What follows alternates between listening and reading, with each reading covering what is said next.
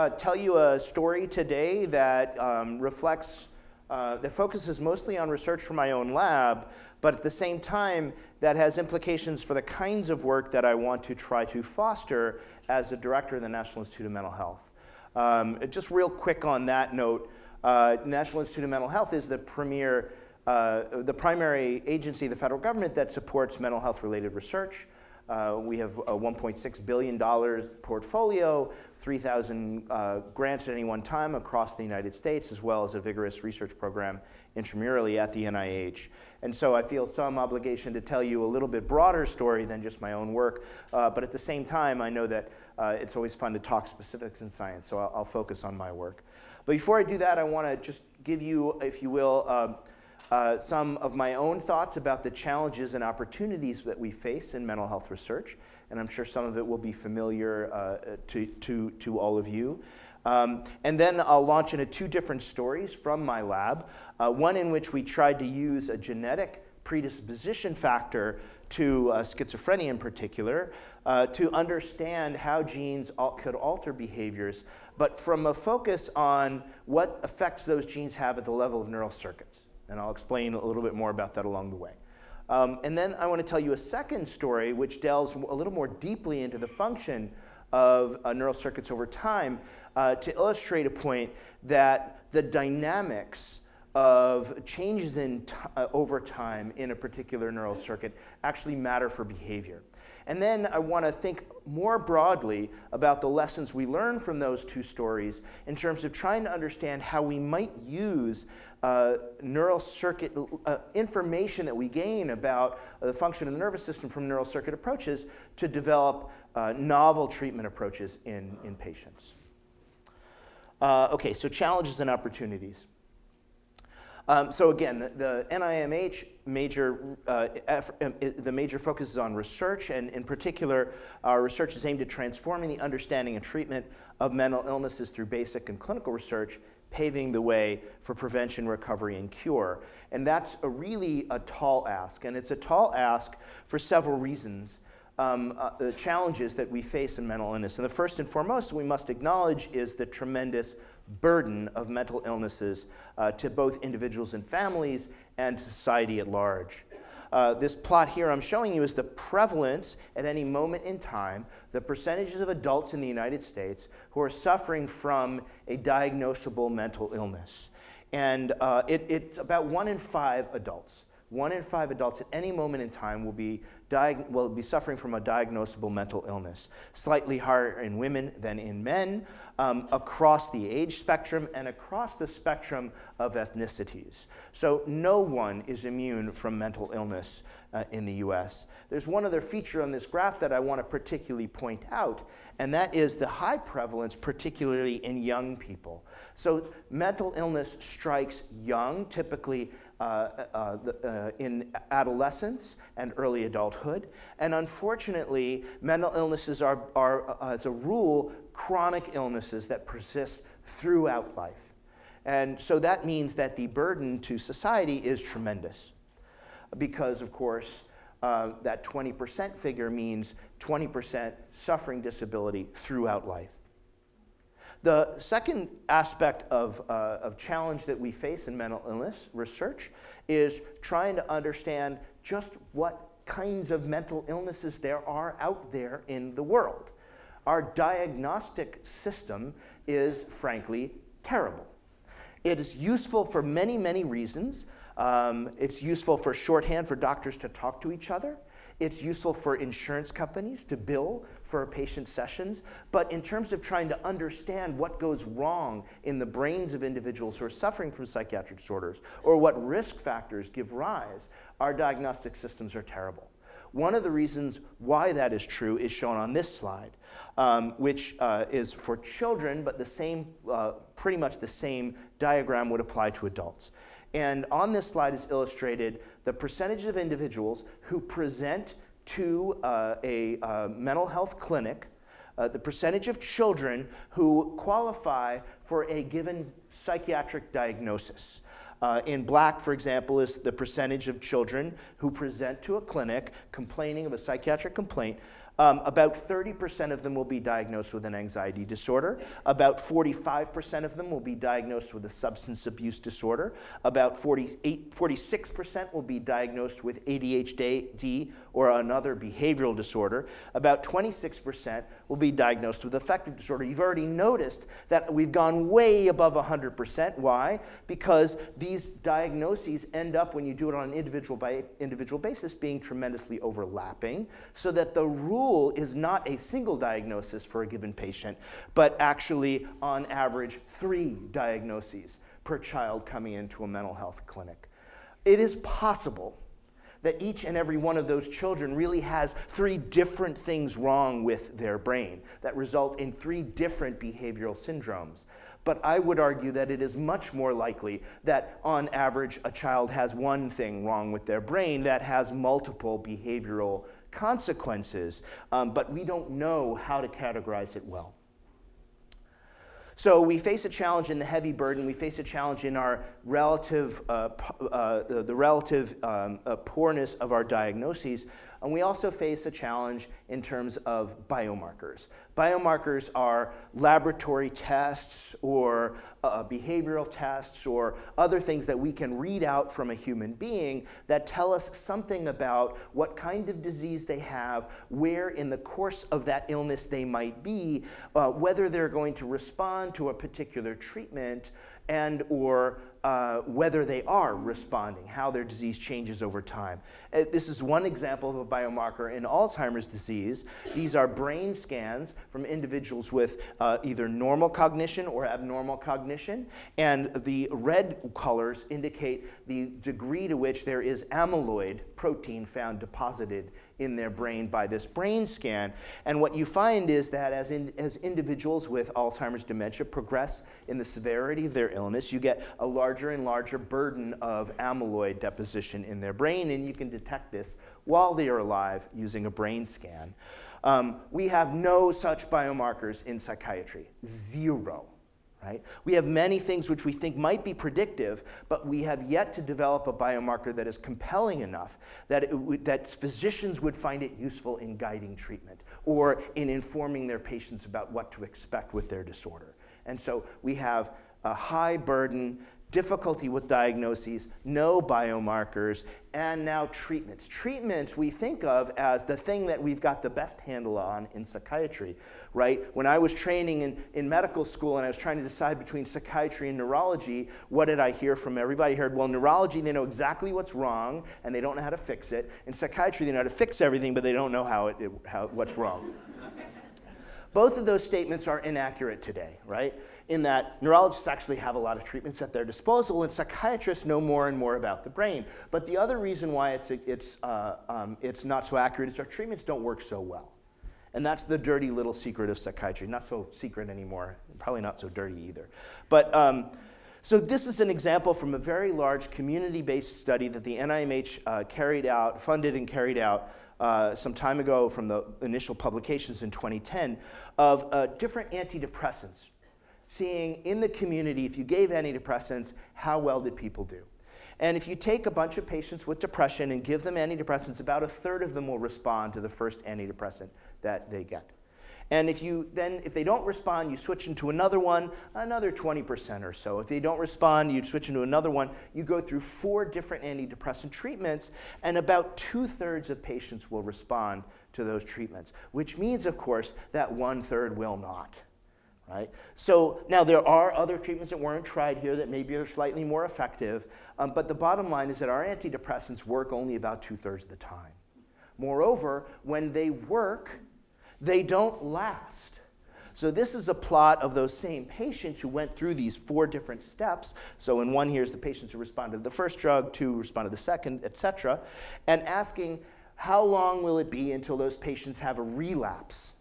And what you find is that by one year after starting the trial, probably about 50% of the people will have had a second episode of depression. So one third don't get well, and fully half that response doesn't last. Right? So even in antidepressants, which we think of as something which we actually do fairly well in psychiatry, our treatments are of limited efficacy. Okay, So we have high burden diseases that we don't know how to describe, we don't know how to follow with biomarkers, and we can only treat half well. Why the heck would I want to go oversee the agency that's responsible for trying to improve the plight of individuals with psychiatric diseases? And so I want to follow up these challenges with what I see as the opportunities, and then you'll see how those opportunities impact my own work and then what I think of for the future. So, what are the opportunities in psychiatry? The first one is genetics. Now, five years ago, if you'd asked me or probably anyone in this room that, about genetics as being an opportunity in psychiatry, you would have laughed me off the stage. Because we had really very few, if any, bona fide genes that we think predisposed to psychiatry. But now we have an embarrassment of riches. So on this plot is already now uh, three years old, um, 108 different loci in the genome, places in the genome, that if you have the wrong variant, the wrong sequence in that place, you have a higher risk of getting schizophrenia. So these are 108 different biological clues right? Now, I'm not going to pretend that we know from those 108 clues exactly what's going on. In fact, trying to figure out what's going on is going to be really complicated. But we have 108 different places to look. And this is three years ago at the World Conference of Psychiatric Genetics I was privileged enough to attend about a month ago. They released the latest data set, 248 places in the genome to look, right? So we have lots of biological clues from genetics.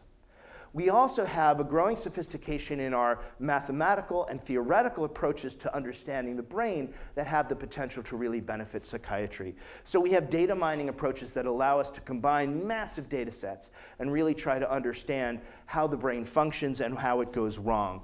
We have increasingly sophisticated techniques to develop to biophysically model how the brain works and to use those models to understand how genes affect circuits, how circuits affect behavior. Um, and we, in fact, can turn that um, to the behavioral area to really develop sophisticated ways of phenotyping individuals that get at actually the neural computations that circuits need to perform. So we can apply all these techniques to psychiatric problems, and I think, anyway, make real headway in terms of understanding how the brain functions and how it goes awry in psychiatric disease. And then finally, in the last 10 years or so, neuroscientists have developed an array of techniques that give us the ability to look deeply into the function of neural circuits. So I've now said neural circuits, I don't know, five times or so already, so I should probably define what I mean. So this is a picture of uh, a brain of a mouse, of a particular part of the brain called the hippocampus. And what you can see is lots of different colored little round blobs. Each one of those is a cell, it's a neuron within the brain. And each one of them actually has been colored a slightly different color using a, uh, a wonderful technique developed by investigators at Harvard University. And what you can see is there's lots of different neurons in this one chunk of brain. What you can't see from that is that the neuron that is defined by one color as compared to another is wired up to a number of its neighbors, both in this brain structure and in other brain structures to which it's connected. So those groups, small groups of neurons that are wired together, communicate with each other and, and perform calculations, computations that the brain needs to do to produce behavior. So for example, there is a circuit of neurons in my motor cortex that are performing the calculation needed to know how far I need to move my arm to emphasize a point. Probably mm-hmm. much further than I actually need, actually much less far than I need to, than I actually do. But so the brain is, different circuits in the brain are, are, constantly performing these computations. And we've now developed, as you can tell by these labeling techniques, we can label specific neurons with specific colors. We can also take those neurons and put genes into them that allow us to manipulate those neurons in very specific ways, as I'll show you in the rest of the talk. So the, this tremendous power to be able to observe and manipulate specific elements of specific circuits in the brain allow us to really start breaking down how the brain performs these computations to guide behavior. And potentially, as I'll talk in the latter part of my talk, to intervene in those circuits when they break down to try to develop uh, technique tools to, to, help with uh, psychiatric illness. So those uh, four challenges, burden, uh, uh, poor diagnoses, biomarker, lack of biomarkers, um, and, and uh, mediocre treatments can be met, I hope anyway, by these opportunities that we have from genetics, uh, from computational neuroscience, and from neural circuit uh, technologies. So the rest of the talk, I'm going to focus really on the neural circuit technology piece, although there's a little bit of genetics in there too, um, to tell you about my own work and then I, hopefully uh, how we can use that work in a translational fashion in the future. So story one, from gene to behavior through the circuit. So if we have a gene that predisposes to a psychiatric illness, how do we understand the role of that gene in the psychiatric symptoms? Well, genes don't code for behaviors, they code for proteins. And those proteins are expressed in cells, the major cell of the nervous system being the neuron, although there are other ones too. I'm going to ignore them for now, and you can yell at me for doing that later. Those neurons form circuits. Those circuits, as I said before, perform computations that, are, are, that help the brain guide behavior. Those circuits actually wire up into whole complex neural systems that actually guide behavior. So I would argue, as many others have before me, that in order to understand how a gene causes a psychiatric illness relevant behavior, one needs to understand the effects of that gene at the level of the cell, the level of the circuit, the level of the system to describe the full course of events leading from gene to behavior. There's one other reason why it's important to be able to describe it across multiple levels of the nervous system, gene, cell, circuit system, and that's because in psychiatry especially, we don't know what level is going to be the best to intervene to treat our illnesses. So antidepressants, they work sort of at the level of the cell, right? They affect receptors on the surface of the cell membrane, or they affect transporters that move things in and out of the cell. But cognitive behavioral therapy, that works at the level of behavior, right? This is a behavioral intervention that changes the brain and helps people with depression. Deep brain stimulation, a technique under study right now for depression that shows promising results, is a systems level technology. You implant an electrode and try to activate or inhibit, we don't even really know which one, the whole brain system to try to help people with depression. So we can imagine that intervening at multiple different levels might be able to help our patients. So we really need to understand the full panoply. So we set out to do that in, in my lab by studying a gene, a particular gene called the 22q11 microdeletion. It's actually not one gene. It's 20 different genes on human chromosome 22 that, um, that tend to be deleted together in about 1 in 4,000 live births the microdeletion is associated with schizophrenia and actually with autism too.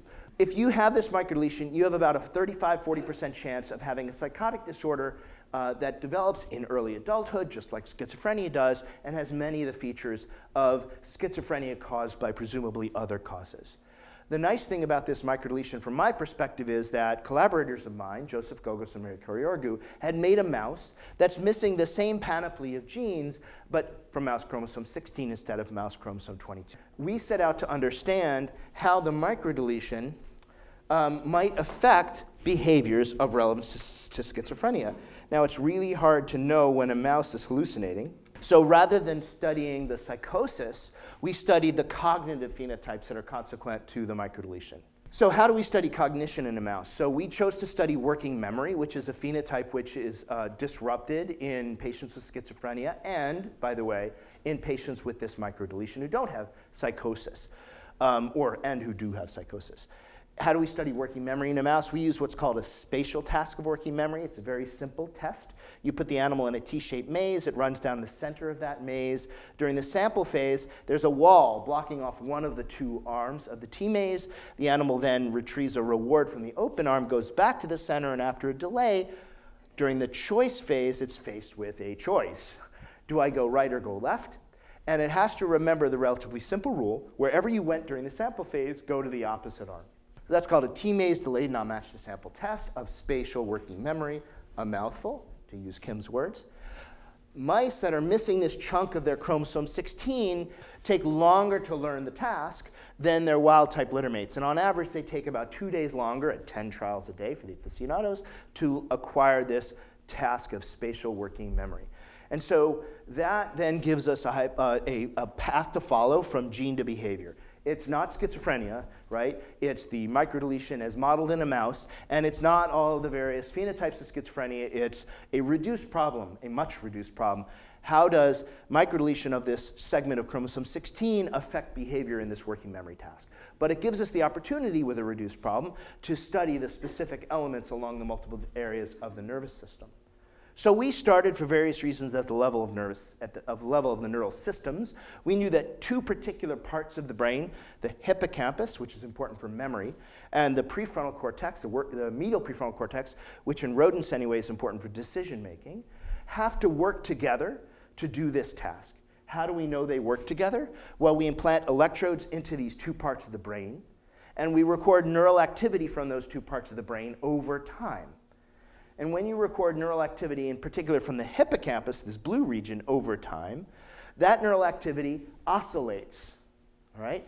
So this is the local field potential. It's a measure of activity that sums up the activity of many neurons, actually many synapses within the hippocampus. And uh, the activity in the hippocampus is going up and down and up and down and up and down over multiple frequency ranges. The most prominent is this theta frequency range illustrated here with the purple dotted line. And that up and down, you can tell by the scale bar that's now on the screen, is going up and down about eight times a second. That's called the theta frequency oscillation. So I might say theta, or I might say 8 hertz, or I might say oscillation, but it's this up and down in the hippocampus over time. Now, at the same time we record activity in the hippocampus, we're also recording the activity of single neurons in the prefrontal cortex. And those neurons are firing action potentials, illustrated here by straight lines. And what you can sort of see is that those action potentials in the prefrontal cortex seem to be occurring in rhythm with the oscillation in the hippocampus. So, and in fact, it seems to occur on the upswing of activity in the hippocampus. Whenever there's an upswing, you see a spike or two in the prefrontal cortical neuron. So we say that this medial prefrontal cortical neuron seems to be phase locked because it's, it's being active at particular phases of the hippocampal theta oscillation. And we can use this phase locking measure to figure out what happens during behavior. Is that phase locking getting stronger or weaker? So here's that same neuron that I illustrated up here, um, but lots and lots of spikes from that neuron, lots and lots of action potentials. And what you can see is that it, those spikes are counted by according to which phase of the theta cycle they are on. And most of those neurons are around 90 degrees of phase, which are on the upswing of each of the theta oscillations. And if we record lots of neurons in the prefrontal cortex, about 60% of prefrontal cortical neurons are phase locked to the theta, the theta oscillation in the hippocampus. These are two brain regions that in a mouse brain, they're pretty far apart, at least by mouse brain standards. They're like a centimeter, centimeter and a half apart from each other. So how can activity be going up and down in time together in these two brain regions? They must be connected and or talking to each other uh, for this to happen. And uh, the, so we infer, and later on I'll demonstrate, that it's due to the connections between them that they can phase lock. What happens to that phase locking now when you put the animal in a working memory task? In wild type animals, you get a certain amount of phase locking, a strength of phase locking of 0.08, a meaningless number. But the important thing is that in our mutant animals performing the same task, they don't phase lock as well. The phase locking is weaker. And that's true no matter which phase of the task the animals are in. So it suggests the following hypothesis that these two brain regions can't talk to each other well. And the reason why they, and the reason why they can't do the working memory task might be that they can't talk to each other. So how do we test that hypothesis? We move now down to the circuit element area and we ask, well, how do these two brain regions talk to each other normally? And the hypothesis is that the hippocampus sends information to the prefrontal cortex by way of the axons that go from one brain region to the other. So now we can use a circuit level technique to try to disrupt the function of these axons and see if that disrupts behavior. So we're going to leave behind the mutants for a while, and we're going to study only wild-type mice, and we're going to ask, in wild-type mice, do you need this connection between your hippocampus and prefrontal cortex to do working memory behavior properly? How do we test that? We put a virus into the hippocampus that expresses enhanced ARCH 3.0. That's a bacterial protein. So it's a protein that's not normally in mice, normally in bacteria. We can express it in these specific neurons in the hippocampus that project to the prefrontal cortex. And when that protein is expressed in those neurons and you shine a light onto those neurons, that protein becomes activated, pumps protons out of the neurons, making those neurons less active. So you inhibit those neurons. And uh, this is the protein now expressed not actually in the neurons in the hippocampus, but in the, their axons within the prefrontal cortex. So we can also shine light not on the neurons themselves, but only on their axons, inhibiting those axons and preventing them from sending information from the hippocampus to the prefrontal cortex. So we use this very specific circuit manipulation, turn off the projection from the hippocampus to the prefrontal cortex. I'm not going to show you the data that it actually works. You trust me that it does. And we disrupt behavior in the working memory task. So here is an, a wild type animal performing normally at about 80% correct. So it gets about 80% of those trials right, where it has to remember where it was and go the opposite arm. If animals not expressing our bacterial protein, we turn on a light in the prefrontal cortex. We don't do anything to the axons, and the animals perform, continue to perform well. If, however, the mice are expressing our inhibitory protein in the axons that project into the prefrontal cortex, we turn on the light and we reduce performance to about 65%. We impair the animal's ability to do this working memory task. So this tells us that these axons that send information from the hippocampus to the prefrontal cortex are indeed important for working memory. So now we have two steps of the process. We know that the hippocampus and prefrontal cortex are disconnected in our mutant, and we know that if we artificially disconnect them by inhibiting the projection from the hippocampus to the prefrontal cortex, we get the same behavioral phenotype or similar behavioral phenotype as is present in the mutants. So now we just need one more thing. We need to know why this gene mutation causes deficits in this connection between the hippocampus and the prefrontal cortex. And, um, and it turns out um, my collaborator, Joseph Gogos, in his lab discovered why. So these are our mutant animals. These are neurons taken from our mutant animals and grown in a dish. Okay? And looking at their axons, at the projections that they send out grown in a dish, you can see that the mutant animals have impoverished branches compared to the wild type animals. See lots more branches in wild type animals than in mutant neurons. Okay? So there's something about the neurons where they don't grow out properly their axons. And this is true not just for generic neurons grown in a dish, but also for those very same hippocampal to prefrontal projection neurons. The axons that grow out from the hippocampus to the prefrontal cortex do not grow out as well. Why is this happening? Well, it turns out there's one gene within this 22q11 microdeletion called ZDHHC8. It changes the proteins in the developing axon so that you get a dysregulation of a kinase called GSK3. We know that because Jun Mukai, the postdoc in Joseph's lab, cut up those axons, ground them up, and looked at the biochemistries and found that one of the consequences of this microdeletion, as well as deleting just this one gene, was to have a hyperactive protein kinase GSK3. So to prove that that was the case, he then used an antagonist to that hyperactive protein kinase and restored normal branching patterns in our mutants. So here's our mutants with their impoverished branching. Treat those neurons in a dish with our antagonist, and you get normal branching. You reverse the deficits.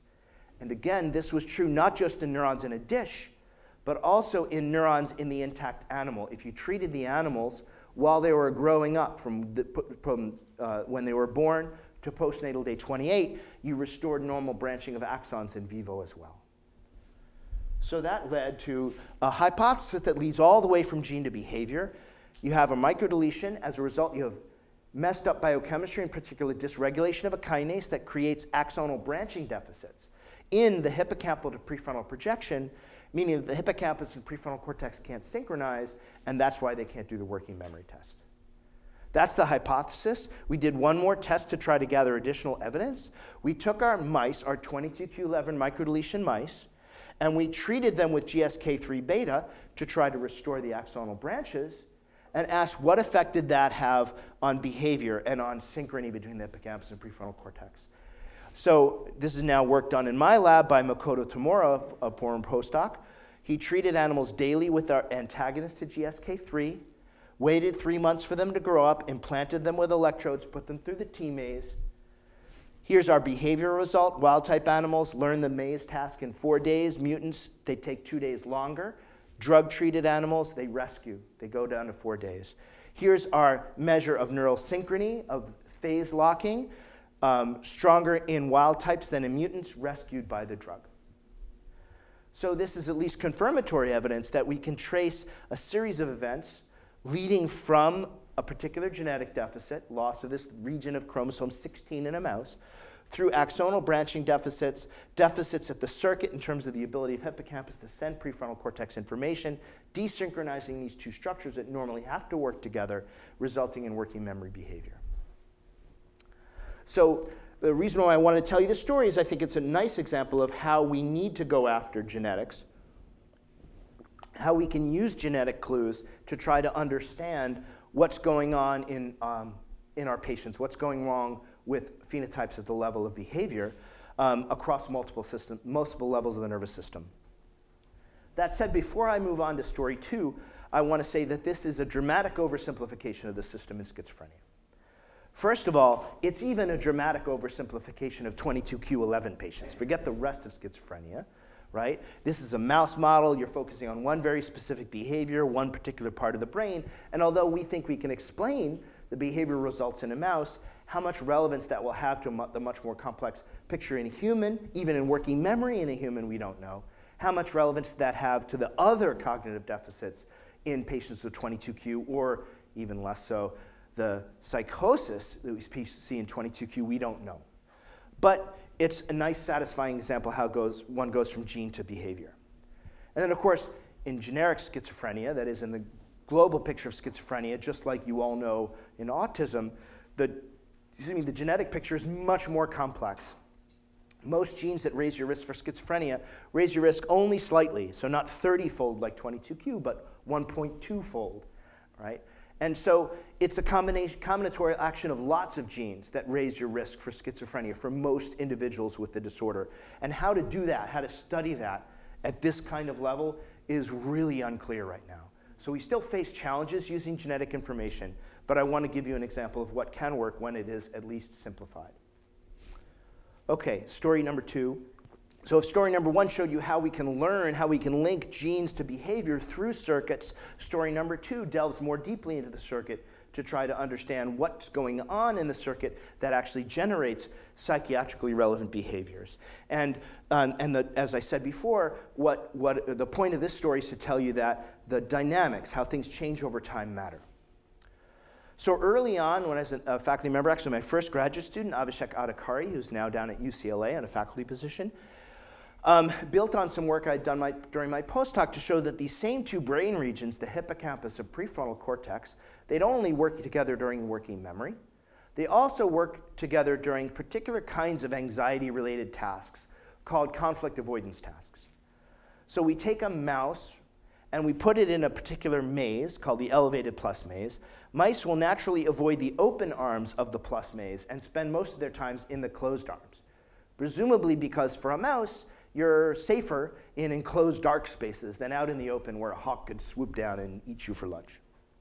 So um, mice will avoid those open parts and, uh, and spend most of the time in the closed arms. And for various reasons, we think that is relevant to certain kinds of human anxiety. Um, I can tell you lots of information, but the shortest thing I could say is that drugs which increase anxiety uh, increase the amount of time the animals will spend in those closed arms relative to the open. And drugs that decrease anxiety uh, decrease the amount of times the animals will spend in the closed arms. They'll spend more time exploring the open arms. There are lots of other reasons as to why we think it's behaviorally relevant, but we'll leave it at that for now. And if we record activity from neurons in the prefrontal cortex and from the local field potential in the hippocampus, you can see for any one neuron, this is one neuron, that there is again a temporal relationship. There's phase locking of the prefrontal cortical neuron to the hippocampal, theta oscillation. And if we take that animal in a familiar environment and move it to the plus maze, that phase locking gets stronger, on average by about 20%. Okay? So these two structures, they don't just interact during working memory, they also interact during, uh, during anxiety. And to prove that that interaction is causal, that it actually causes anxiety relevant behavior, we did the same technique that I told you about before. We put our inhibitory bacterial protein into the hippocampus, shined light in the prefrontal cortex, disconnecting the two structures. And what happens during anxiety? Well, um, well, actually, what happens first to phase locking, right? So this is the phase locking strength with the light on, phase locking strength with the light off. Each dot here is one neuron in the prefrontal cortex, and what you can see is that the neurons lie mostly below this line. That is, most of the neurons decrease their phase locking when you turn the light on. So turning the light on here, I'm showing you what I didn't show you before. Turning the light on does disconnect the hippocampus from the prefrontal cortex. What happens behaviorally? Here's the amount of time the animal spends in the open arms. We turn on the light in animals expressing the opsin, not in animals that don't express this bacterial protein. And the animals will spend more of their time in the open arms. That is, turning off this circuit decreases anxiety-like behavior. It increases exploration of the frightening open arms. And it's reversible. You can turn the light off again, then turn it back on, and you get the effects. So this particular circuit, the hippocampal to prefrontal circuit, is important not just for working memory, but also for anxiety-like behavior. And, um, and you get that same kind of synchrony, that theta frequency synchrony in this circuit during anxiety. So Nancy Padilla, another graduate student in the lab, decided that she wanted to test whether that theta oscillation is actually important or whether it's just a signal of the degree to which these two structures are communicating. So instead of inhibiting, she chose to excite these hippocampal inputs into the prefrontal cortex. And she chose to excite those inputs in three different temporally, temporally different patterns. So one was sort of mimic the natural oscillation that happens in the hippocampus eight times a second. Another one was using the same frequency, but stimulating all of the inputs at once with a big pulse every eight times a second. So the difference between these two is the pattern. And then a third way, a, an oscillation like the 8 hertz one, up and down and up and down and up and down, but 20 times a second instead of 8 times a second. The main thing she wanted to test was whether there was something special about this oscillation and then also something special about the frequency. So she chose these three patterns, put them on or off uh, two minute exposures in the elevated plus maze, and found that, first of all, stimulation had the opposite effect of inhibition, right? And so that's shown here of the 8 hertz sine wave. You turn on the light, the 8 hertz sine wave, exciting these inputs, and you reduce the amount of time spent in the open arm. So activating this pathway does indeed increase anxiety, just the opposite of inhibiting the pathway, which decreased anxiety. But it mattered which pattern she gave to these axons. Only the 8 hertz oscillation, not pulses delivered 8 times a second, or a faster 20 hertz oscillation, increased anxiety-like behavior. So there's something actually special about 8 hertz and about this oscillatory pattern. Why? Well, she then worked with Sarah Canetta, a postdoc in Christoph Kellendonk's lab, to record from medial prefrontal cortical neurons um, while stimulating the hippocampal inputs in a slice so that she could figure out what's actually going on. And 8 hertz pulses, by activating all these hippocampal inputs all at once, resulted in strong postsynaptic responses in the prefrontal cortical neuron to each of the pulses. 20 hertz pulses, by the way, seem too fast to drive the synapse. So already we're seeing something special about 8 hertz in this circuit. That is, that the circuit is designed to uh, transmit information at 8 times a second, not 20 times a second. What about the sine wave? The sine wave didn't evoke these strong responses to each of the waves. Um, neither did the 20 hertz sine wave. But it did increase the rate of weaker, uh, spontaneous-like excitatory postsynaptic currents in these prefrontal cortical neurons that were glutamate dependent, because if we use glutamatergic blockers, you block all of those events. So, first, the synapse, hippocampal to prefrontal synapse, seems to be specialized for the 8 hertz input, which is the kind of input you'd expect to get from the hippocampus. Second, simultaneously activating them all drives that synapse very well. Activating it with this sine wave, which mimics the natural oscillatory pattern, doesn't result in strong postsynaptic responses, but somehow seems to increase the excitability of these synapses. And to tell that story directly, Nancy tested that hypothesis directly by stimulating the hippocampal inputs in an intact animal and recording the responses of prefrontal cortical neurons in the presence or absence of these different kinds of illumination and asked, what does the sine wave do to the ability of the hippocampus to drive the prefrontal cortical neurons? Uh, this is the prefrontal cortical neuron's response to a pulse of electricity delivered to the hippocampus, right? So this is the hippocampal input. You get a response to the prefrontal cortical neuron. If you do it while the light is on, oscillating eight times a second, you get a bigger response. So shining this oscillatory light onto the terminals increased the ability of those terminals to actually transmit information from the hippocampus to the prefrontal cortex. And it did it oh, best at 8 hertz, weaker at 20 hertz, and the pulses had no effect.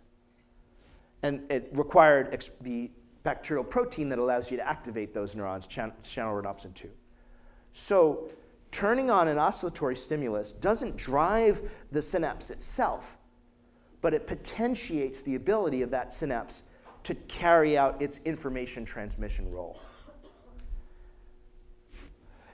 It does so, though, in a really interesting way, which is it's not acting by itself all the time at maximal efficiency. It must be coupling with something going on in the brain of the animal separately. Why do I say that? This is the, okay, so we have our optical stimulus that's oscillating along at 8 hertz or at 20 hertz. And um, we can forget the stimulation now, we can just record prefrontal cortical neurons. And because that oscillatory stimulus, though, is potentiating the ability of information to flow through the system, you now get phase locking of prefrontal cortical neurons, not to the hippocampal theta oscillation, but to the optical oscillation in the laser itself. So we get artificial phase locking prefrontal cortical neurons to this optical stimulus, both at 8 hertz and weaker at 20 hertz. This is in a familiar environment.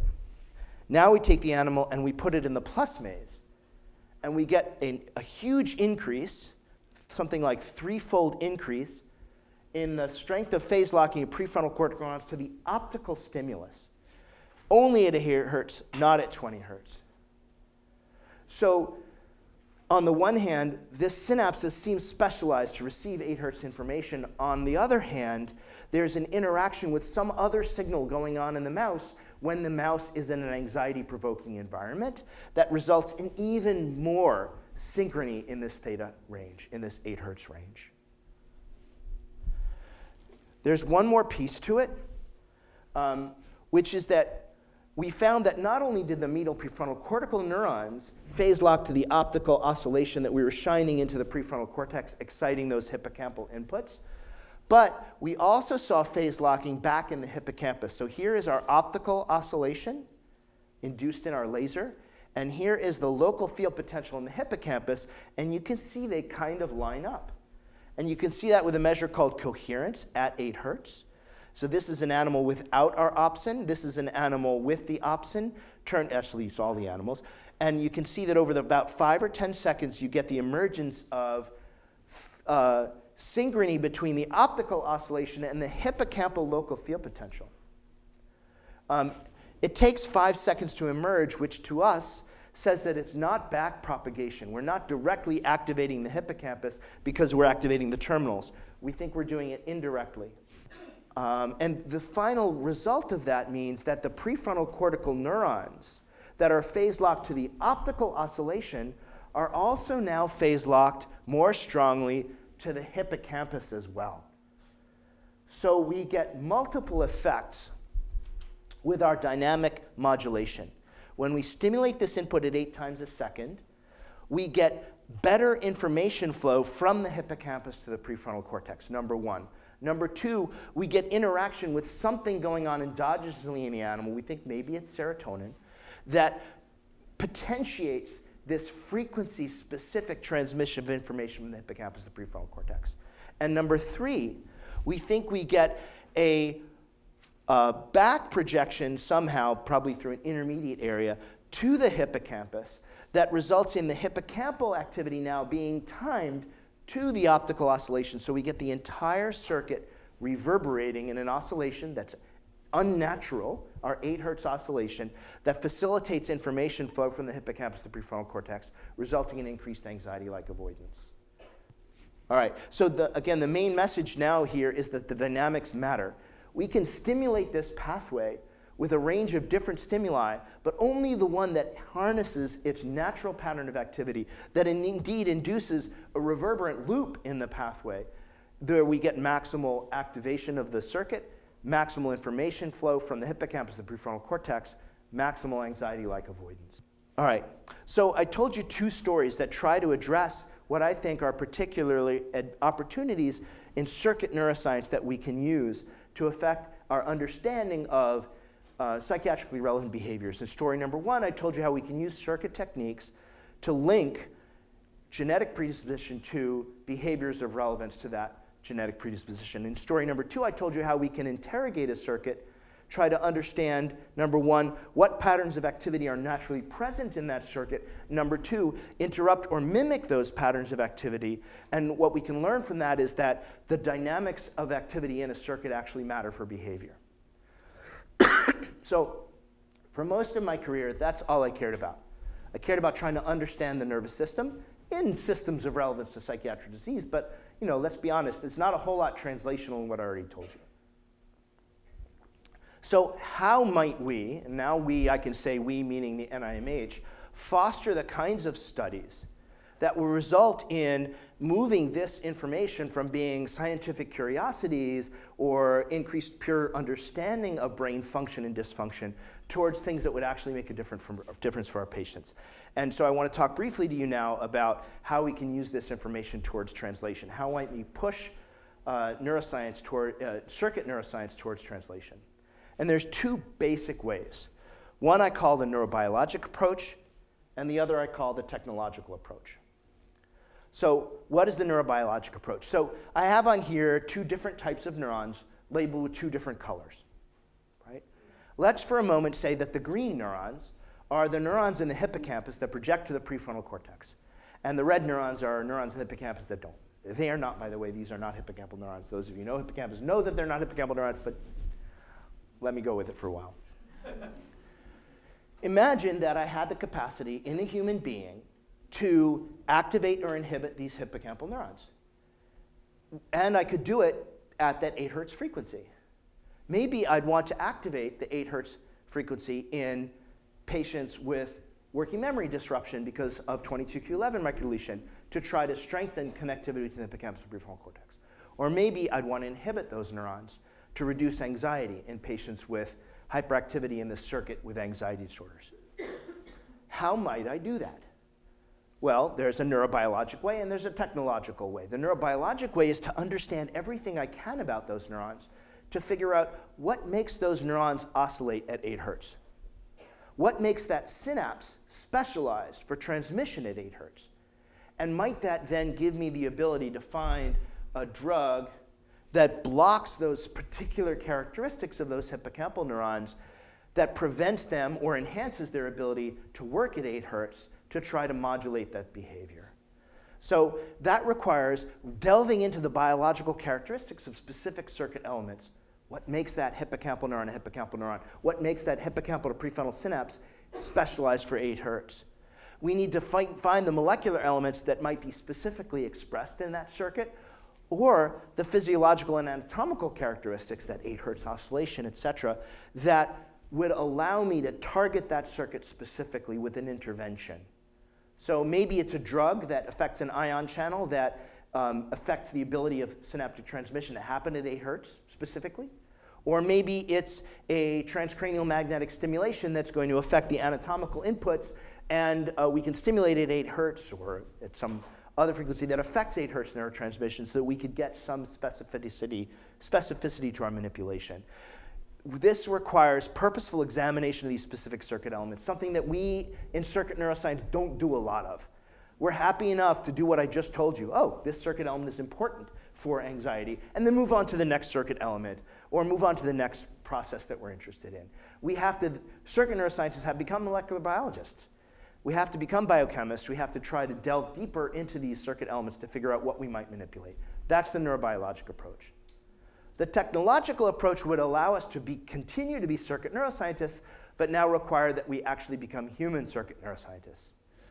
We have to be able to define the circuit elements in human beings that are important for these circuits, for these behavioral functions. We have to develop the technologies that will allow us not to label up hippocampal neurons in a mouse, but a hippocampal neurons in a human being and figure out how we determine what modulation we need to do and do it all in a way that would minimize invasiveness. Now, in a mouse, there's so many invasive things I can't even tell you that we did to do this. We had Cre-dependent mouse lines, right? Cre mouse lines that allow us to direct expression to specific circuit elements. We're not going to breed Cre expressing human beings. We're just not going to do it. Um, and we injected things into particular parts of the brain. And so we can imagine, uh, uh, but more, most importantly, actually, the first thing that I have to tell you about a mouse is this is not the relative size of a mouse and human brain. This is the relevant size of a human mouse brain. Now, I, the other thing I didn't tell you is to label up the entire hippocampus, we did 12 injections per side in our mouse. It might have been overkill. We might have been able to make do with six per side, but it's still a lot. Now imagine we want to fill the hippocampus of a human being. We need whole different um, delivery techniques that will allow us to infect larger chunks of tissue. So just size. Then, of course, there's the complexity of important parts of the brain, like the prefrontal cortex, which are way oversimplified in a mouse. So for that, we need intermediate models, like non-human primates, that will allow us to identify circuit elements that might translate better to humans, that will allow us to test techniques that would infect larger chunks of tissue, or infect neurons that are not even present in a mouse, but might be present in a human. Um, then, of course, we need to direct specific expressions without Cre lines. We can use enhancers packaged into viruses that we might inject into the brain. But wouldn't it be better if we could do it non-invasively? So we would like to develop means of packaging things into viruses or other delivery systems that we could inject into the bloodstream that would find their way into the brain and then deliver specific expression in tissue-specific elements. So that's the dream. And I think if we really want to achieve our mission of uh, paving the way to prevention, recovery, and cure, we can hope to do it with the traditional psychosocial interventions, uh, activity-dependent modulation we can do in non-invasively, and uh, pharmaceutical drugs, right, that might target specific elements. We can hope that the neurobiologic approach would work. But I would argue that while we're trying to figure out the neurobiologic approach to manipulate circuits specifically, we might also need to develop these technologies further so that we can imagine using them in humans one day. Unless you think, oh, are people really going to want to undergo brain surgery and implantation of foreign proteins into their brain to help solve their psychiatric problems? Come on. Just think about the number of people who are lined up to try to get deep brain stimulation for OCD or DBS for depression. Think about the one third of patients who aren't helped with our treatment. Some large fraction of them are devastated by their illness and would grasp at any straw. And think about actually the relative safety of these neurosurgical interventions. And one might think, you know what, there would be a demand for this, especially if we could minimize the invasiveness and make it more routine and safe. So I think we need to plan for that day in the future, even if hopefully we never have to get there and we can use the neurobiologic approach more specifically. So thanks for listening. I appreciate your attention and happy to take questions. Hi, so as a totally non-neuroscientist, immunologist, but I was thinking just a bigger picture, do you think um, the same type of thing would be for, for people who are refractory to ep epilepsy treatments and sort of that that might be an obvious sort of place since they go in and ablate areas of the brain anyway? Yeah, in fact, epilepsy is one of the, probably a, uh, an application that might be uh, closer to trying to use these circuit level techniques. Um, so folks are already identifying, using various technologies, the foci of epilepsy and trying to online detect the emergence of a seizure and interrupt it, predominantly electrically right now, but it might be much more effective if you can infect those neurons with an inhibitory uh, opsin, for example, or an inhibitory chemogenetic module that allows you with a drug to inhibit it, detect them and release that event, uh, prevent that event online um, with an invasive technology. So that's already sort of under at least construction right now for epilepsy. Another area where um, invasive genetic uh, uh, techniques is, uh, is pretty much right around the corner is in Parkinson's disease. Um, people are really interested in trying to intervene in Parkinson's disease with um, gene therapies. And, uh, and, and there are others as well. So there are already folks who are actually conducting CNS clinical trials with the introduction of foreign proteins. They're, they're different than the kinds of technologies we've, we've been working with in mice. Um, but the, the technologies are being developed for other purposes in addition to psychiatric disorders. Hi, Josh. Uh, wonderful talk. Thank Thanks. you very much for delivering it. Uh, it really raised lots of questions, but I wanted to ask you one. Um, in your studies on the, the mouse 22q11 uh, series of studies, I wonder, in your thinking, how do you go from those mouse findings to the, to the human, and what kind of validation do you need to, to, to sort of convince you that the same kind of phenomena happening in the human brain before you actually try and go to mouse-derived treatments? Yeah, so that's a really great, great question because theoretically we have a, a treatment that we could potentially offer right now. So what would give you the confidence to want to try that in a human being? Um, so first and foremost, we need to de-oversimplify, right? We need to try to understand, well, how much of the um, phenomenology underlying 22q might be due to things like axon outgrowth or developmental processes that are dysregulated because of GSK3 hyperactivity. Um, as, a, as one start for that, there are now folks who've done really uh, nice connectivity imaging in patients with 22q. And they do find deficits in hippocampal prefrontal connectivity. But intriguingly, they find hyperconnectivity between, say, thalamus and primary sensory regions. So there are, so the situation is more complex. It's probably not pure hypoconnectivity. I also glossed over one other point, which is that we think the hypoconnectivity that we see in a mouse is pretty much universal through at least the two or three different connections that we've looked at, and also using a DTI study in the same mice. So the mouse picture may not reflect the complexity of the human picture. So, but, but that's the first step is trying to figure out is connectivity decreased. We can also grow 22q11 neurons in dishes. That's being done. And one can ask, do we see the axon outgrowth or neurite outgrowth deficits that you see in a mouse? And can we reverse that with the, with the, with the drug? And then the, if, you, if all those things happen, then that gives you a little bit of confidence that you know, it's worth trying it. There are drugs on the market right now that have some GSK3 uh, antagonism cap capacity, including pretty innocuous drugs from the perspective of at least postnatal development. I wouldn't say purely innocuous, but uh, SSRIs, for example. Um, that's one thing. Uh, lithium is also thought to inhibit GSK3. So there are drugs that are already out there that are used for other purposes that we might think of testing. Um, I wouldn't recommend it right now, but I would say, you know, first we need to show that the phenomenon that we can observe in a mouse that we could replicate in a human actually take place and that they're reversible using a drug sort of in a dish as opposed to in a human being. Those are two steps along the way. Probably lot, lots more, but those are two.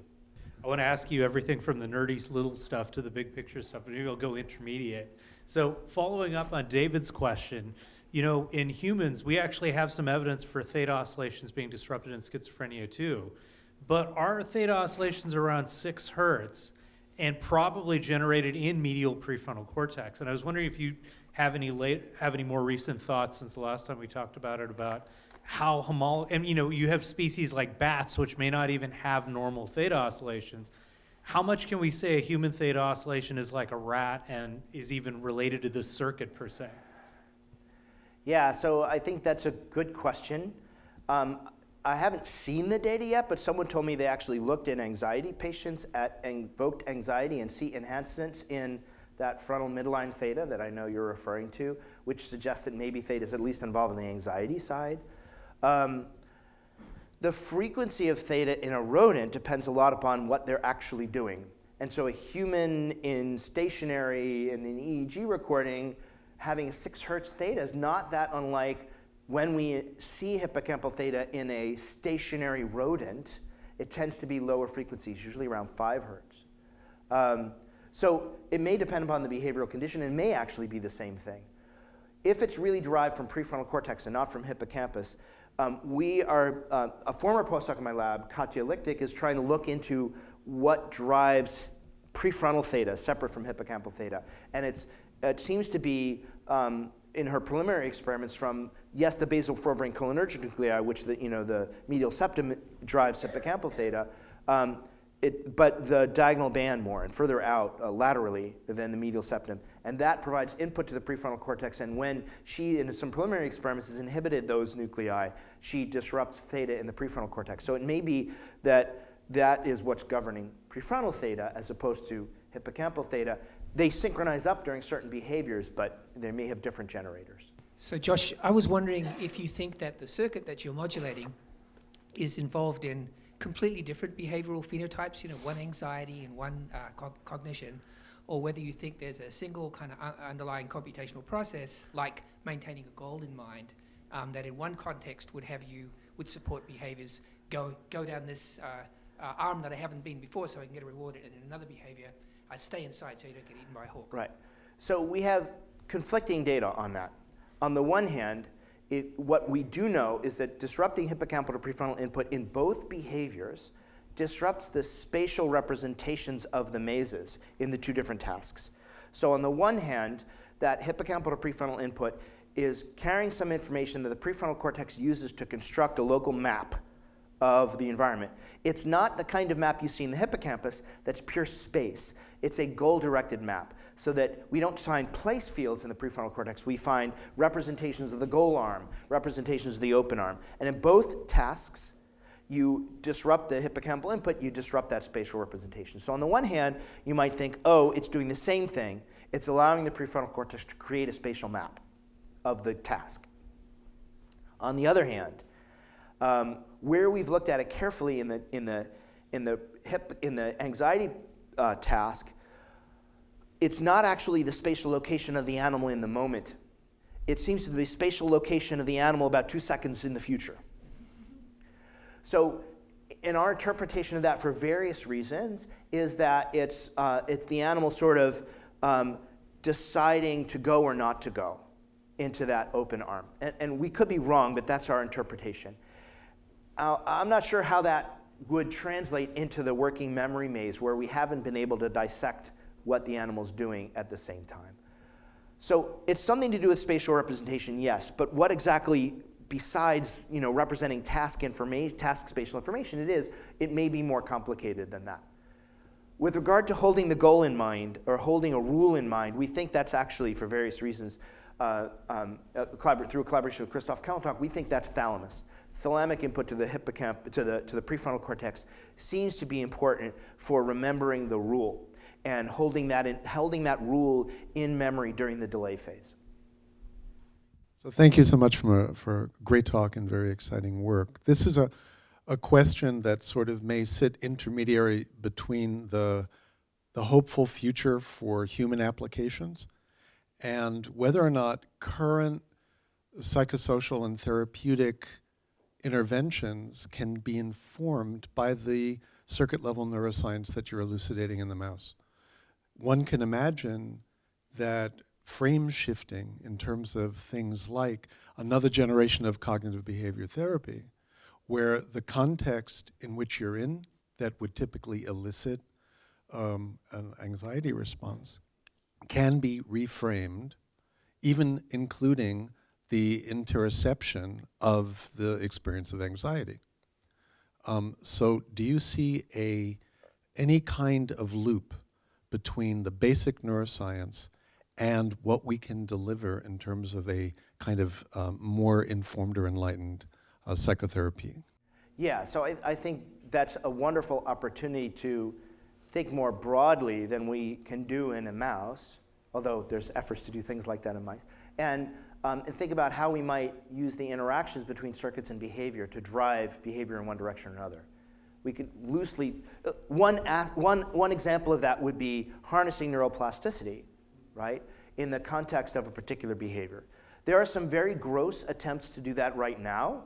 I say gross not meaning disgusting, but gross meaning not so fine grained. So, for example, trying to train people in a cognitive task while delivering transcranial direct current stimulation over the brain region that we think is important for that cognitive task to see if we can accentuate the, um, the efficacy of the, of the training to induce improvements in cognition. So one can imagine taking that analog and doing it, but with a more directed, fine-grained approach to try to stimulate, uh, let's say, you know, using the stuff I talked about, if we can enhance data transmission during the training of a working memory task, maybe we only need to do it during the training, and then the animals or the humans might be better at doing working memory tasks, or at least that working memory task, without the ongoing stimulation. So, yeah, I think there's a lot of opportunity to imagine interactions between um, circuit technologies and psychosocial interventions that would take advantage of things like plasticity. Uh, the, other, the other approach, though, is to think to, is to, to and this is already being done to a certain extent, or being tried to a certain extent, to use what we know about circuits to make sure that our psychosocial interventions are being delivered as effic efficaciously as possible. So, for example, if what you're trying to do is improve cognitive control, um, then you want to make sure that when you're, and, and we think cognitive control, it's important to activate particular parts of the DLPFC, then we might use a circuit technique of readout technique, either EEG or fMRI, to during the training to make sure that you're actually engaging the right part of your brain that needs to be fixed and not other parts that might also play a role or compensate for deficits in that part. But you know, if you don't get it right, you're not actually fixing the underlying deficit. So one can imagine using circuit level techniques, particularly on the readout side, to enhance our ability to deliver uh, psychotherapeutic treatments. I had a really related question to that. Um, in regards to like um, treatment implications. So you had some really cool findings showing sort of acute effects uh, of the you know of the stimulation on the behaviors. Is there any evidence to showing that like this kind of thing would help chronically, like like you know, because that's what you want to do in a patient. You want to treat them and then have it help them throughout their, their life. Right. So we uh, tried early on, rather than directly stimulating the hippocampal to prefrontal inputs, um, uh, you know, acutely in the moment, to induce plasticity in that system to enhance neural transmission and uh, say, you know, increase the uh, uh, uh, uh, spatial working memory acquisition or something like that. Um, we haven't yet hit upon the right paradigm to induce the plasticity in that system yet, although we haven't exhaustively tried it. And that's something that, we, that I actually actively want to do in my lab at NIH, is focus on plasticity in the hippocampal prefrontal system to see if one can get long-lasting changes with a short-term manipulation, and whether that would rescue, say, cognitive deficits in our mice, in our mutant mice. So that's something we're actively interested in, but we haven't yet been able to engage in this particular circuit. Um, thank you for the talk. Uh, I wanted to ask, so for polygenic disorders like schizophrenia or others that are very complicated and have many loci implicated, um, after we understand the, the role of each gene to connectivity, in particular brain regions of interest, what are your thoughts on going from um, understanding the various genes involved to kind of holistically being able to uh, explore the relative dosage of each gene. Yeah, so I think this is a problem which uh, on first glance seems almost insurmountable. If you took all the patients with schizophrenia in the world and, and tried to use them to look at, say, interactions between genes, you would not have enough statistical power. So you can't take the traditional genetic approaches to ask how these things interact. Um, at the same time, you think, oh, well, then let's take a candidate approach. Let's take two genes that we think should interact and test whether they do. Well, we've tried that in psychiatry for years, and we know that it leads down the, the rosy path of false positives. It's like that's not going to move it. So, um, but increasingly people are coming, people much more creative and smart than I am, are coming up with these really amazing ways to do high throughput neurobiology.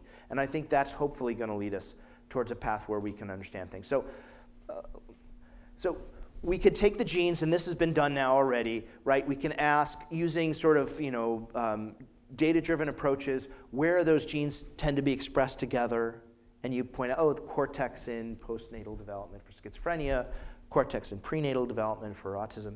That gets you somewhere. Maybe it's excitatory neurons, maybe not. But it only express, it only gives you the predominant, you know, the big signals and not the little signals. And we don't know whether the big signals are going to be more important, they're more common signals, more important than the less common. But there are now approaches to be able to say grow organoids in a dish that give you a diversity of cell types. Just one method.